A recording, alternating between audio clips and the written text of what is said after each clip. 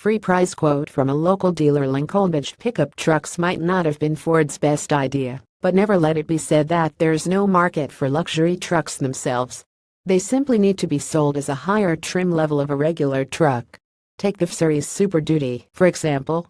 Because Ford's been successful enough selling $70,000 Super Duty Platinums, it's created an even more luxurious version the Super Duty Limited. Billed as a truck for high-end customers, from boat captains to captains of industry, the limited package starts at $80,835 including destination on the F-250. The F-350 Limited, meanwhile, comes in at $82,010, while the F-450 Limited is a very pricey $87,100. If you add every available option, though, Ford says it will cost you a staggering $94,455. But what does Ford give you to justify charging S-Class prices for a pickup truck according to the release? The limited trim offers Twoton leather seats, leather all over the steering wheel, armrests, an instrument panel, a suede headliner, ashwood trim, and special limited badging. There's also a slightly different chrome grille, LED lights, and a chrome piece on the tailgate.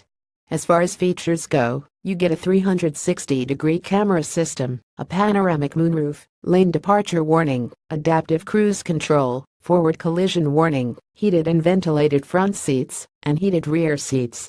Plus, it can still tow more than 30,000 pounds, which Ford points out is about the weight of an F-35 fighter jet. Imagine opening the door to your humidor and sinking into your favorite leather lounge chair. That's the sensation new Super Duty Limited inspires, said Ford design manager Aileen Barraza. In a release, Sadly, it appears that an actual humidor is not an available option on the Super Duty Limited. While a $95,000 pickup truck might sound ridiculous, Ford insists there really is a market for it. According to the release, more than 50% of retail Super Duty sales are high-end models like the King Ranch and Platinum. There are heavy-duty truck customers who need super level capability and want true luxury, said Todd Eckert, Ford's head of truck marketing. We created this new truck to answer the call for even more premium choices in the Super Duty range as we see more and more truck customers trending to more premium models. If you're one of the boat captains or captains of industry in the market for the ultimate heavy-duty luxury truck, look for the Super Duty Limited to arrive at dealers this winter. Source Ford